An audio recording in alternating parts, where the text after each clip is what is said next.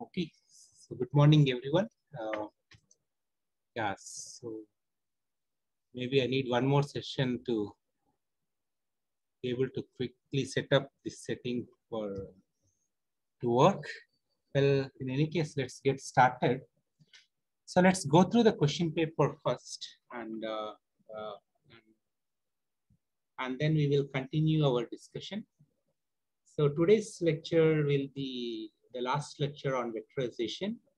And after that, we will move on to uh, how to use multiple course parallelization. Uh, so perhaps we will spend two, three classes on parallelization and maybe one or two classes on locality, uh, which is a very difficult uh, idea. And finally, how we put all these things together to get the best performance out of the program. So that is the plan for the rest of the course. Uh, so before that, I thought let's uh, review the quiz so that uh, if there are any doubts or no, any clarifications that are required, we can uh, take them out of our way. So first question is a processor runs at 4 gig frequency and another processor is running at 3 gig frequency can you say the first processor has better performance than the second processor? How many of you think it says? Okay, be bold. Okay, only one person. So what's the argument for others that why a 4 gig processor shouldn't be better than a 3 gig processor? Sorry?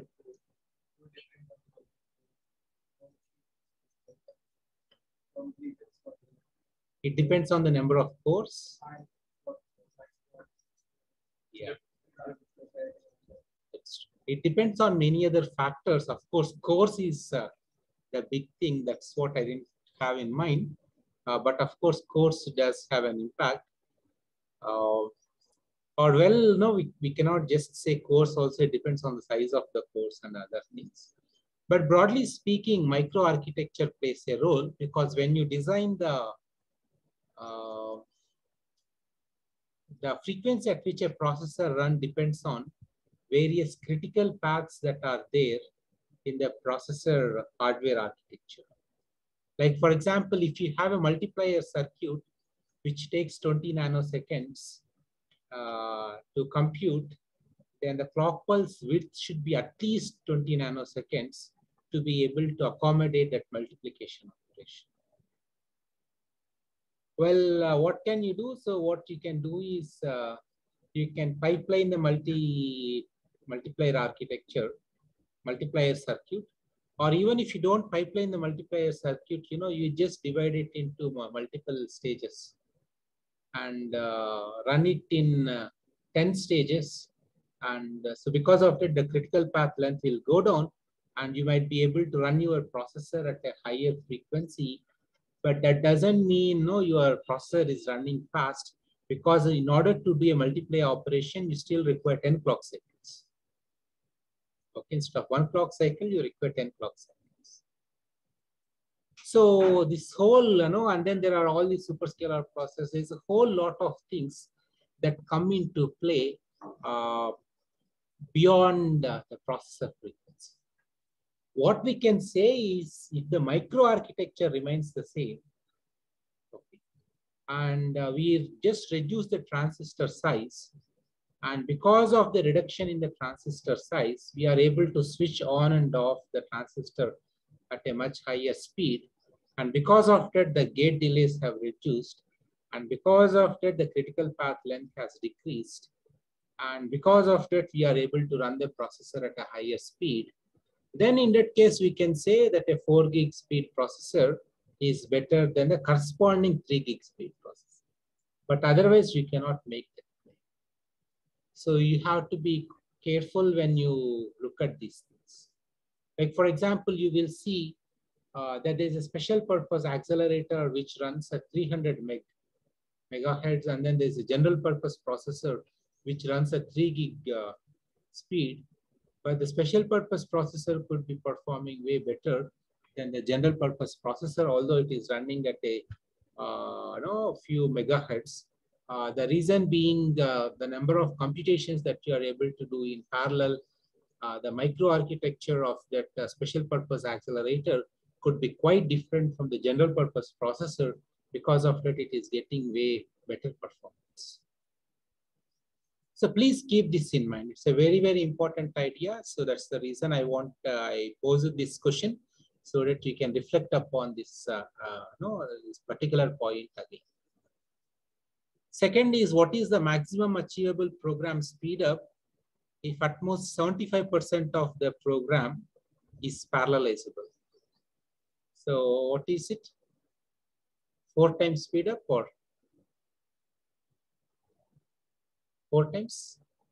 Three fourths. No? So how do we do? Help me out here. So serial execution time by parallel execution time. If you take serial execution time as one unit, and uh, so if you take the parallel plus serial part, so what we have is a parallel part is uh, one fourth, three fourth, right? At most 75% of the program is parallelizable. So you have, uh, no, this is three by four plus 1 by 4. And if, uh, yeah, so if you take the whole parallel part, if you can uh, execute uh, no, using as many processors as you would like, then this factor goes to zero and you will get 4x speed. You all got it right? This is Amdahl's So you, you don't get 4x speed up actually because there are lots of challenges in parallelization, overheads in parallelization, but uh, theoretically, this is the best that you can get. 4x is the theoretical best speed up that you can get. Uh, the second follow-up question is based on Gustafson's law. Uh, give an application where you may want to invest in more compute resources in spite of the speed up bonds given by law. So what application you have? Sorry, machine. What what part of machine learning? Like training data. So like for example, let's say if you are uh, trying to train a uh, Telugu to English language translator machine learning model, earlier you could be training the machine learning model using one terabyte of data uh, but uh, if you have more compute resources available, you might be able to use 10 terabytes of data. Okay, so that way the model accuracy could improve. Or in gaming, you know, like for example, uh, so let's say if you are playing FIFA, you know, uh, then what happens uh, then uh, if you have more compute power available, then perhaps you can add more agents to the game. Know, like for example, uh, some random audience running onto the field. Okay. So there are your game is a collection of agents and uh, uh, interacting with each other. You can uh, add more agents to your game and bring more realistic effect uh, to the to the game. All right. Uh, or usually you know like other way of thinking is uh, in uh, again same referring to fifa uh, usually what can happen is i'm i'm just guessing uh, uh, a strategy whichever the agent or the player has the ball the corresponding thread could be given more compute power and and the threads corresponding to other players may not be given enough compute power because they are slightly less important uh, but that may affect the overall game experience. Uh, for you know, for pros, we may not be able to observe it. Uh, but if you have more compute power available, then the players uh, uh, who doesn't have the ball also, they could be given more threats, more compute power, so that we can get a more realistic uh, game experience. And what is the, going on to question third, what is the difference between SIMD and uh, SPMD. Uh, Yeah, SIMD is instruction, uh, single instruction multiple data stream. That is our vector processors, vector instruction sets, and single program uh, multi data stream. Uh, yeah. Same program is run on multiple different compute systems also. Uh, usually this falls under distributed computing paradigm. And in fact, in machine learning also, uh, in distributed machine learning, what happens is, let's say your 10 terabytes of data uh, is split into 10 shards or 10 chunks, each of size one terabyte, and the 10 different machines, or they independently learn from this one terabyte of data. So each of these 10 machines, they have uh, machine learning model, but it's not exactly the same. What happens is these models, they exchange with each other and they merge the model. Okay. And then again, they go back and read. And then again, they come and merge them. So this is distributed machine learning approach. So that is the same. Uh, this, so in this example, the same uh, learning algorithm is run on all 10 different machines, but on different. So great.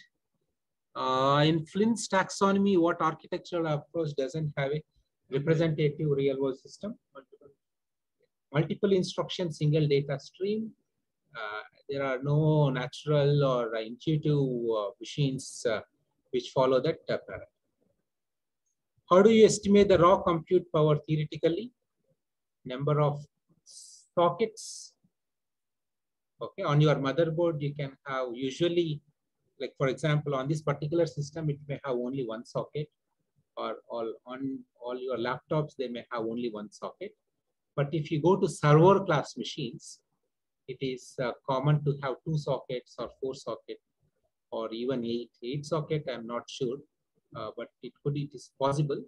Uh, so four socket systems and every socket will have multiple cores. And uh, so number of sockets into number of cores into uh, know, the number of uh, cycles per second that is uh, determined, which is determined based on the frequency at which the processor is running into the number of floating point operations per cycle.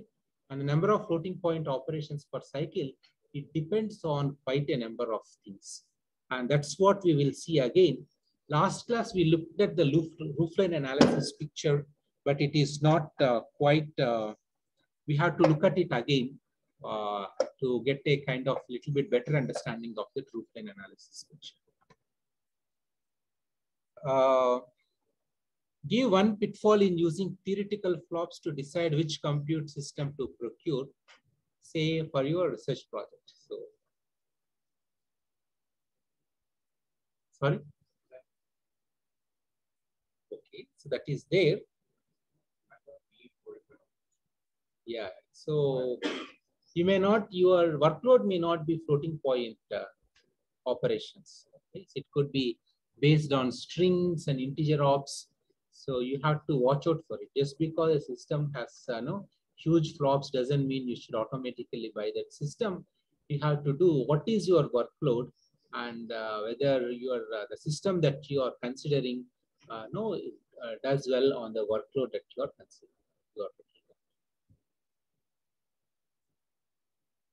So now let's look at this uh, last problem that is uh, uh, BLAS level 2 matrix vector operation. And uh, yeah, so let's go back. So 30 gigabytes is the main memory, gigabytes per second is the main memory bandwidth, 150 gigaflops. What is the ridge point? Okay, so now let me share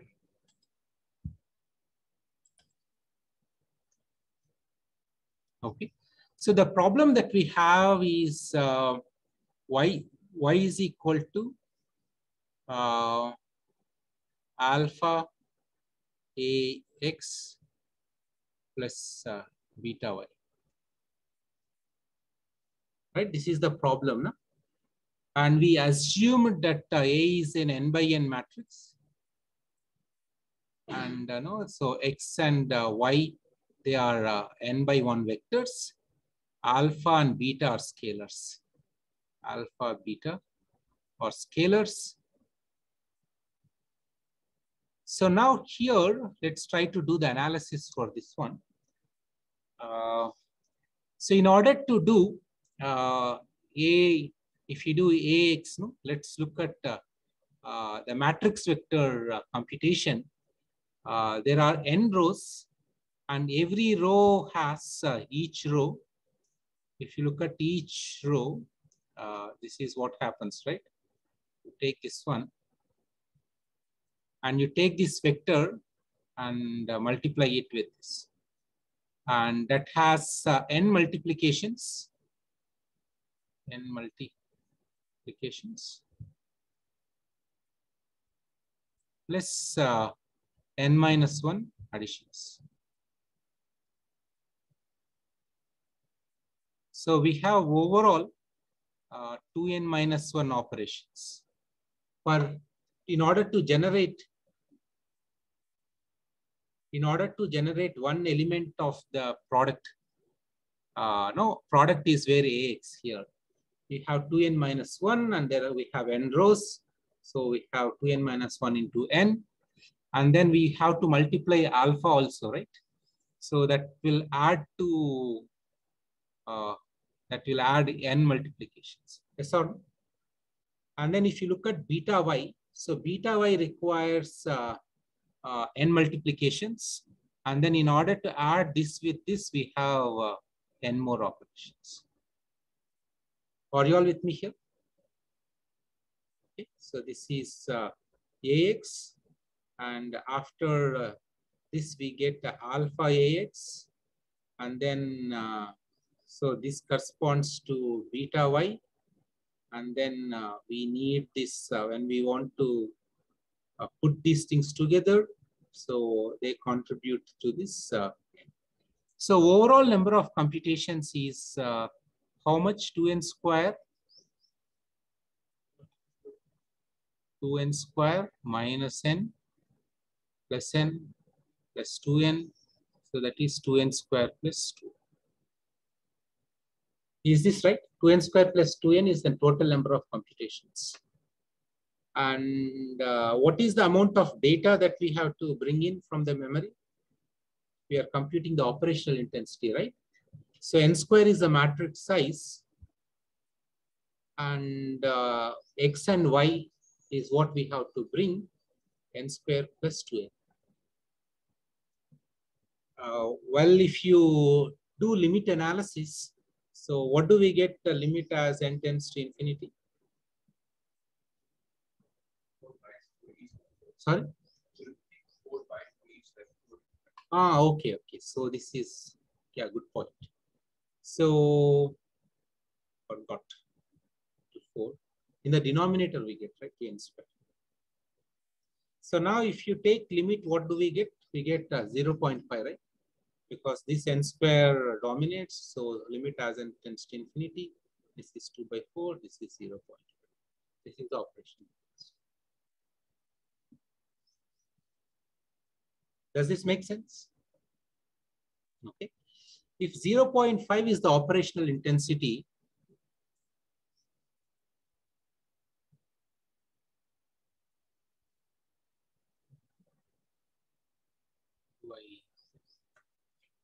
if 0.5 is the operational intensity of this program, OI is 0.5, and memory bandwidth is uh, how much? 30 gigabytes per second, then uh, uh, then achievable compute power, achievable, achievable flops is memory bandwidth into operational intensity 30 into half, which is 15 gigaflops. And what is the available compute power? 150 gigabytes, uh, gigaflops, right? Available compute power is 150 gigaflops. So there is lot of compute power still available, but we are not able to feed data at a rate uh, to use the all the available compute power. Uh, so what it means is, uh, is this a memory bound program or compute bound program? When we say something is memory bound, the limitation is, is coming from the memory bandwidth, not because of the available compute power. So this is clearly a memory bound because if you can increase that 30 gigabytes per second to let's say to 100 gigabytes per second, okay, then the compute power goes to 50 gigaflops per second. So when the operational intensity is very low, we are really challenged because we have to uh, work hard to be able to use available compute power completely. Okay, so this because the operational intensity is low. What is the now? What is the ridge point here? Ridge point is the place where a program turns over from memory bound to compute bound. So that means if you take memory bandwidth into some operational intensity, is equal to peak gigaflops per second. So now peak gigaflops is 150 gigaflops per second and the available memory bandwidth is uh, 30 into operational intensity. So operational intensity at the ridge point is, you know, remember in this picture, it goes like this and it goes like this. This is operational intensity. So the place where this happens is when the operational intensity is equal to five, then the transition happens. This is the place. So in order for us to be able to make this program, this GEMV program, which is a BLAS level one program or level two program into compute bound, we have to boost up its operational intensity from 0.5 to 5. Because we may not be able to do much with uh, the memory bandwidth, because it is a physical property of the system. So we have to boost up the operational intensity of this program from 0.5 to 5. It may or may not be possible. May or may not be possible. Uh, so in this particular example, do you think it is possible to boost up its operational intensity somehow?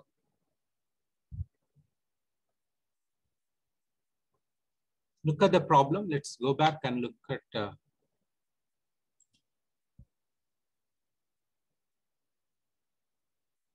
this the one. Yeah, if you stare at this problem, do you think there is any hope for improving the operational intensity of this program?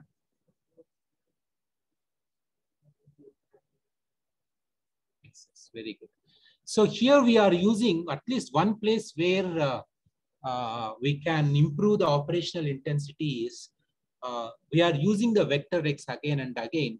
If somehow we can uh, know, keep vector X uh, in the memory, okay, uh, or uh, put parts of vector X, you know, then then the number of times that we have to go to the main memory goes down and that effectively the, the, the denominator in the top in the computation of operational intensity goes down and that can boost up our overall operational intensity. Are you all with me here?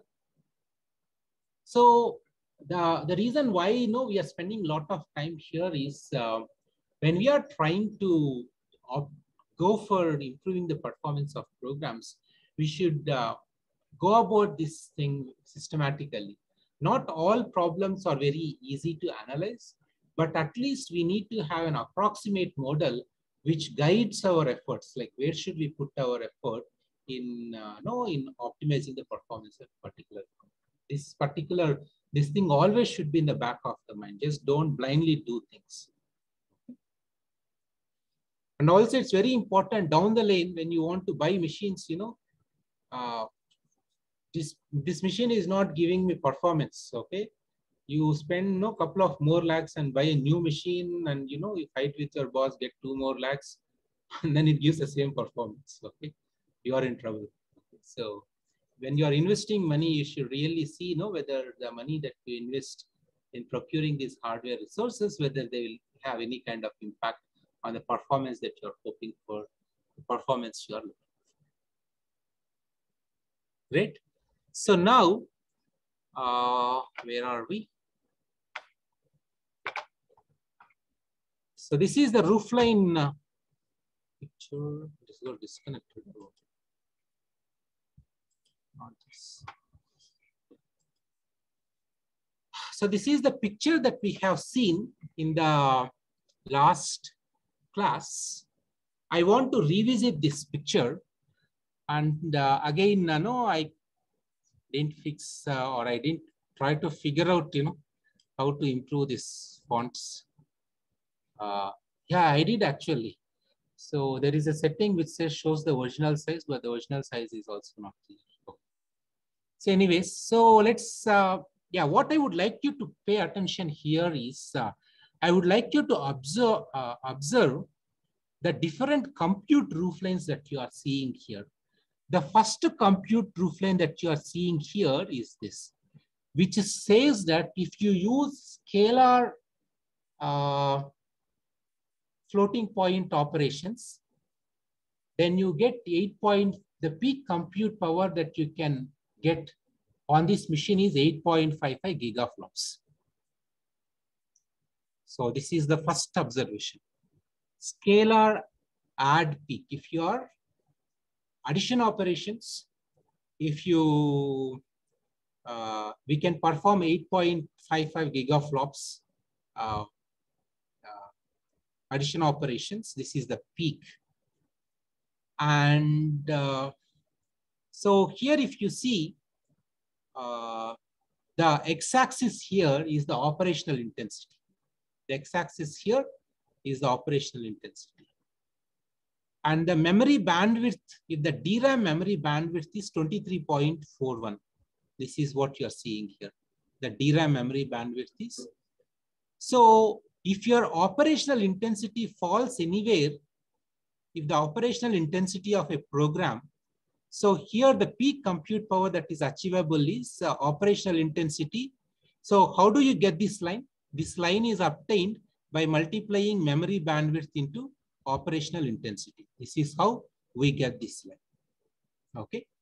And as the operational intensity increases, the peak flops keeps increasing uh, until you hit this point where, you know, you cannot, uh, even if the memory bandwidth increases, you will not be able to do any more computations because this is the best that you can do. The scalar add operations, this is the best that we can do. And this is the ridge point.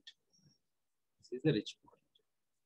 And it so turns out for this particular bandwidth and for the scalar add operations, uh, so the operational intensity, the ridge point is something like 0.25. Yesterday when I calculated, it turned out to be 0.25. And our program, the particular program, SAXPY program that you are looking for, it's uh, it also has a uh, operational intensity which is very close to 0.25. So because of that, you can see, you know, this point and this point are very close to each other. Well, it's not exactly here because, you know, uh, there could be other uh, issues because of which we may not be able to hit all the way here, depending upon the load on the system and other things like uh, but this is all. Uh, but if somehow, if they, if we can uh, cache that, uh, no, whatever the data that we have, and if we can get the data, if we can somehow cache the data and store it in uh, L3 uh, on in the L3 cache, the bandwidth of the L3 cache is 66 uh, gigabytes per second.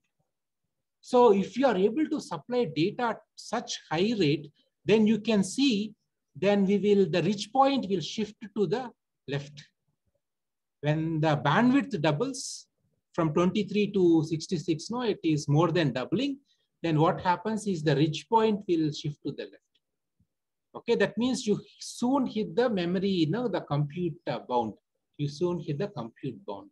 And if you are able to further improve the uh, now if you are able to cache the data in L2 cache, and the L2 cache memory bandwidth is 117 GB per second, then the ridge point will shift further here. And if it is in L1 cache, it is 356 GB per second. So if you're if you are able to hold the data in uh, no, L1 cache, then what happens is if you go down and see the operational intensity required in the program is so, so low.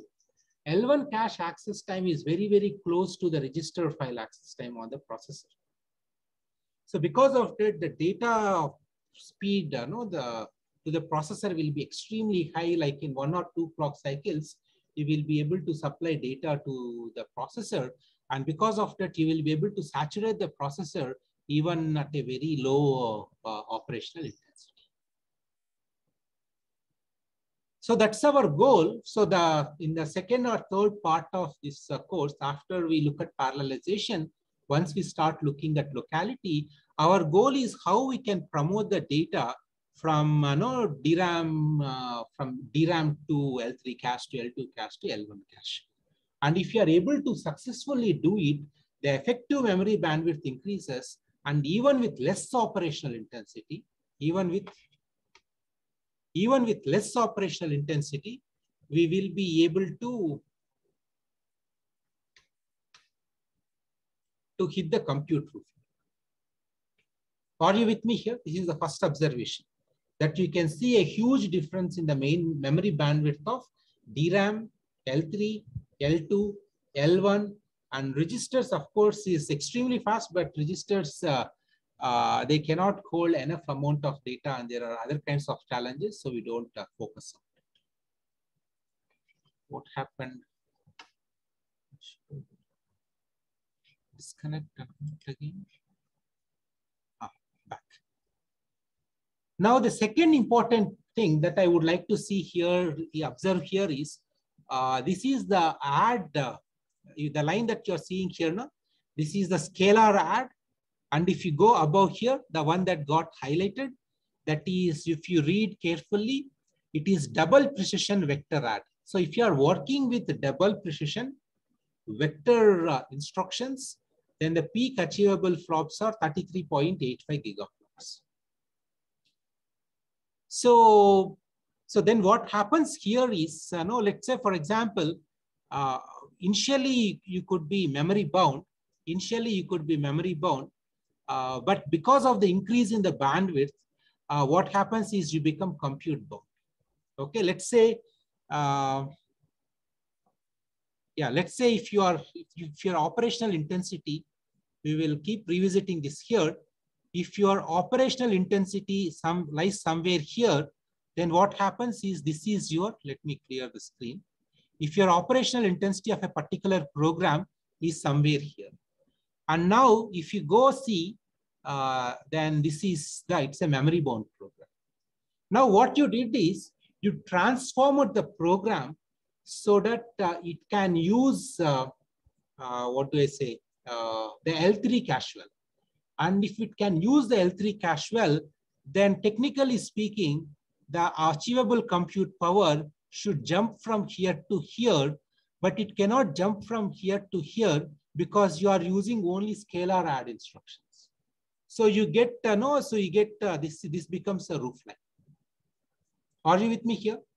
We change the program so that somehow we are able to cache the data into the L3 cache. Because of that, we can potentially achieve, you know, like something like 11 gigaflops or something like that. But what happens is, uh, if you are just using scalar add instructions, you cannot achieve 11 gigaflops. So from memory bound, it becomes compute bound. So what should be the next focus then after that? What should we do? You should go for vectorization. So now when we go for a vectorization, what happens is, you know, the roof line goes above and from 10, 9 gigaflops, you will be able to do 39 gigaflops. The roofline goes above. Now, what happens once you use vectorization? The program becomes memory bound or compute bound. The program becomes memory bound because, you know, if you are using, uh, you have to improve in order to hit this uh, compute intensity, you have to improve your operational intensity from, uh, know, from whatever this number to something else to be able to use. So this is how you should keep uh, looking at it. So right now, whether I'm compute bound or memory bound, if I am memory bound, then no, increase operational intensity uh, by using the cache as well. And once, and then you will see that you are able to use the peak compute power. And then after that, what should you do? So now you see that the compute is the bound. And then now instead of using scalar instructions, you go to vector instructions. And then again see what is happening. You, you may now realize that it is now memory bound. And then you have to improve again your cache line performance so that you can make it compute bound. Once it becomes compute bound, now what you do from vectorization, you want to use multi-core systems. Do you see what is happening here? So we this is the this is called as um, uh, uh, what is the uh, bound analysis? I forgot the right term. So we have to keep at every point when you are trying to optimize your program, always keep an eye on the bound. Is it compute bound or memory bound? If it is memory bound, work on it. If it is compute bound, so if it is memory bound, what should where should you focus on? Improving locality. If it is compute bound, what should you do? You should go for vectorization. You should go for parallelization. That's all. Very, very simple. That is the mantra of uh, working on multi-core systems. This principle in general is true for uh, uh, any arbitrary system. Okay, like for example, right now we are only considering the hierarchy of uh, memory and uh, processor. But if you go to machine learning, for example, where data is all present in the hard disk, then we have to look at whether the whole thing is IO bound. Because IO bound is much more tricky problem to solve. Okay, because in order to, right now we are working in microseconds uh, uh, space. When you go to IO, it becomes milliseconds.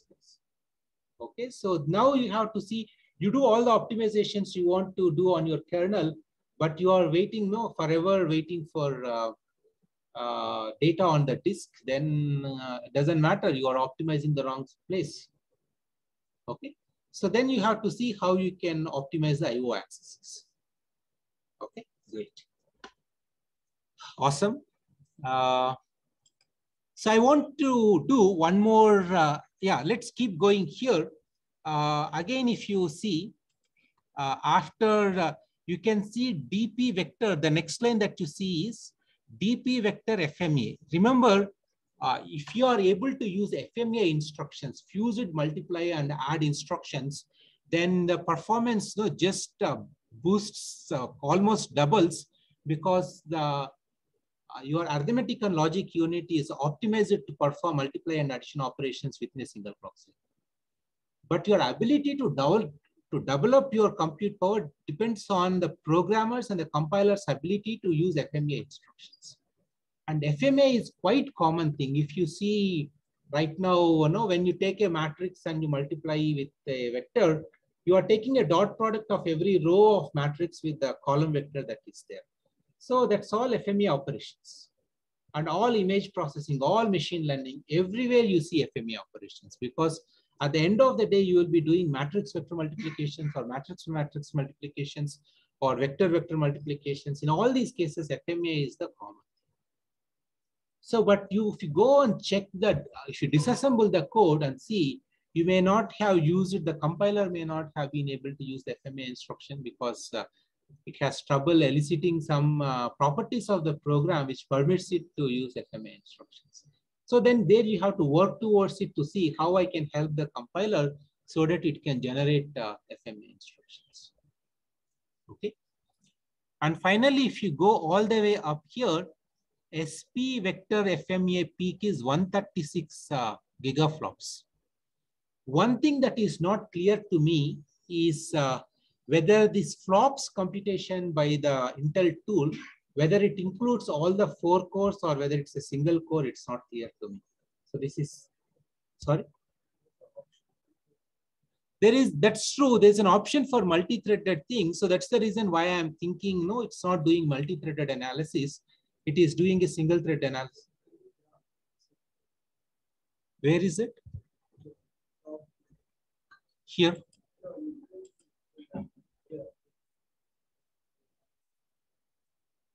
Compare? Oh, one core. Oh, awesome. Thank you. Ha, 791 gigaflops. Huh? If we use uh, six cores. Nice. Performance 990. FMA peak 790. Okay. Very happy.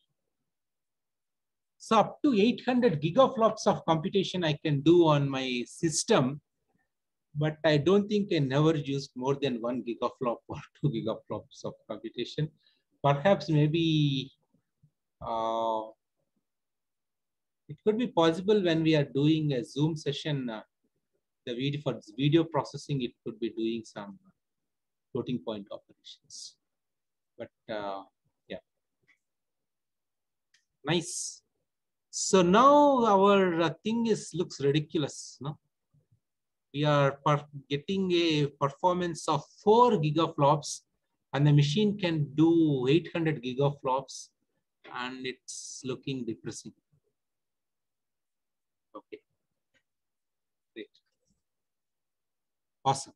So now let's look at one more very interesting problem. Uh, uh, which is quite common in uh, both machine in image processing and machine learning. And we will try to do a uh, uh, this operational intensity analysis for that problem. Let's see.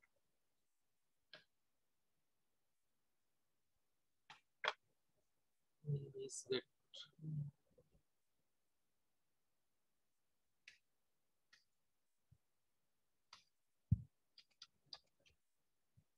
Give me one minute.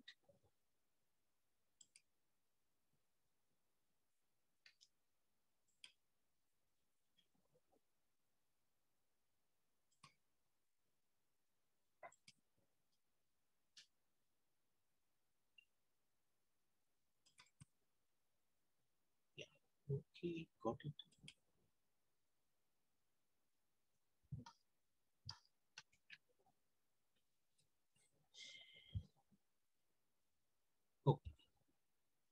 So I just randomly picked out uh, a slide from some other tech.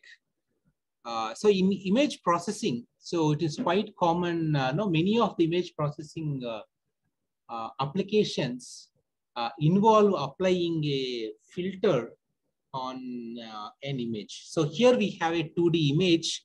You can ignore all this line buffer and all this stuff. So we have an image and you can see a three cross three filter uh, that is a small matrix which contains some values in it. And what we do is we take this filter and keep moving this filter uh, across uh, the whole of this image and we generate uh, uh, another image here. Like for example, here, if you see, when we keep this one here, this you we take we take the values in this red matrix, red filter matrix with the corresponding window from the original image and we compute a dot product. And the dot product uh, is stored in this pixel. Like for example, this could be to, if in order to blur an image, you can perform this operation. Okay, you can kind of do some kind of averaging operation. If you take the original image and if you take the blurred image and if you take the difference between them, you can get the edge image, for example. Okay. Uh, now here, similarly, when this red filter matrix is placed on this grid, so we take the corresponding uh, values, uh, we multiply the corresponding pixel values and add them up and uh, it generates uh, this particular pixel. So this is what is called a stencil operation. Okay, this small three cross three window, it is called as a stencil we are moving this stencil across the original image.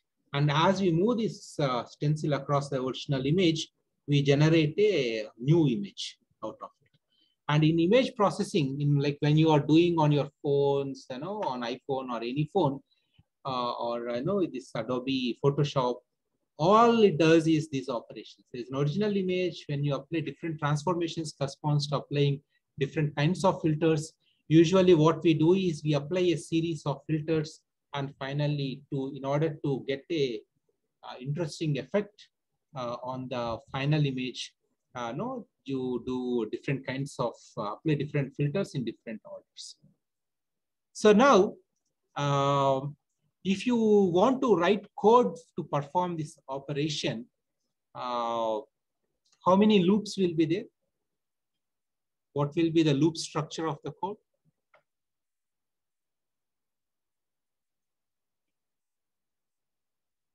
How many loops?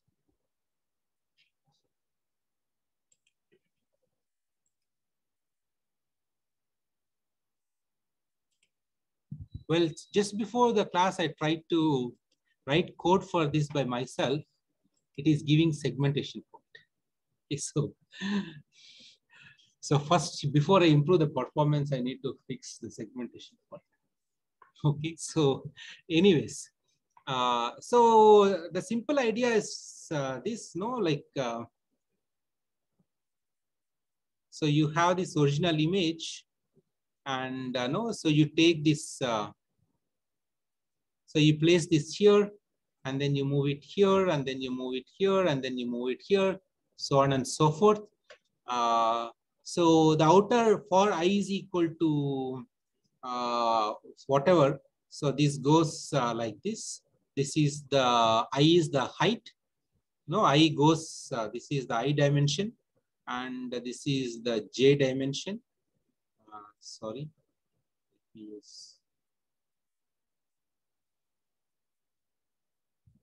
So this is j, this is the width. So what happens is, uh, yeah, what did I do? Yeah. So you go through, you scan the row first. Scanning the row corresponds to the inner loop j. We go across width, and uh, after we scan the first row, we go to the next row. So scanning the height corresponds to the outer loop. Scan height. And here this is scan width. And here the innermost loop, so this is the convolution operation. This is the place where we actually perform, multiply the filter coefficients with the actual image. So this is the convolution operation. Are you all with me here roughly? You don't need to understand the code. Uh, naturally speaking, when we are trying to move this, you know, like uh, uh, we have to, at the boundaries, we get into trouble. Uh, so because of that, so there are two ways of handling boundaries uh, because you cannot uh, take a, this filter window out like this. So since we cannot take the filter window out like this, the generated output image, its dimensions will be slightly less than the original image's dimensions. And if you want the output image dimensions to match the original image dimensions, then we pad up with zeros here. The boundaries of the original image, we pad up. There are again, there are different padding strategies in uh, image processing, but we pad up. If you want the output image dimensions to be exactly the same as the input image, pad the, out, the input image with appropriately, uh, either zeros or the last column or the first column, wherever you are doing that uh, padding. And uh, otherwise, you get the output image dimensions will be slightly lesser than the original image dimensions. Can you take few minutes and try to do the operational intensity analysis on this program? Can you take pen and paper and try to compute the operational intensity analysis? It will be a nice exercise for you. I'll wait for a few minutes.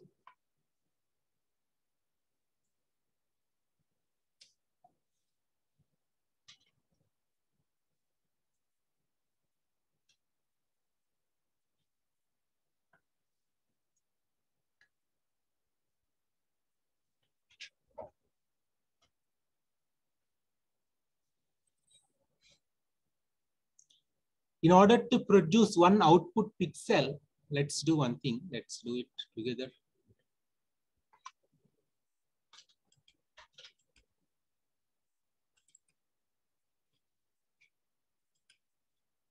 So what we are looking at, operational intensity analysis. Operational intensity analysis for stencils.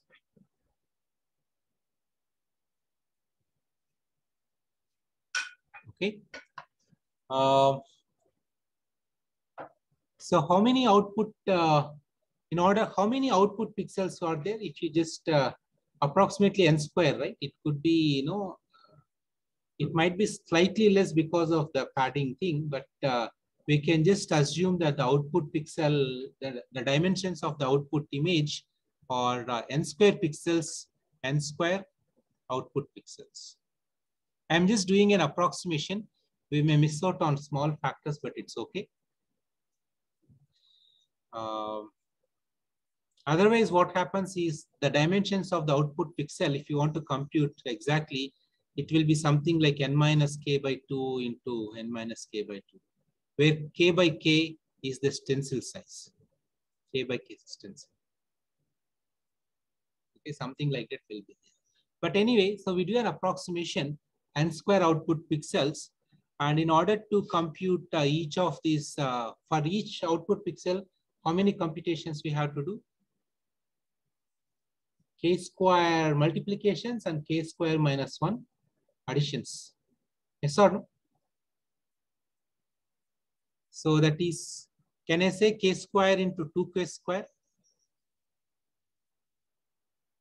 Right, because remember, this is our k by k matrix. So when you convolve it with a, a section of the input image, every pixel every coefficient corresponds generates a multiplication. So k square values will be generated and we, when we add them up, we require k square minus 1 additions. So it is overall 2k square minus 1. So we are ignoring that minus 1. So 2 square, this is n square into 2, 2k square operations. And what's the denominator? how much data we have to bring.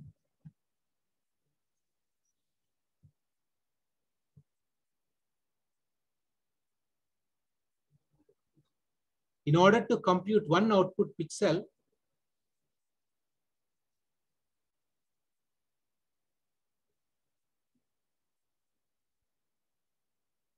if you look at the loop, okay, so if you look at the loop, what happens? Uh, we are uh,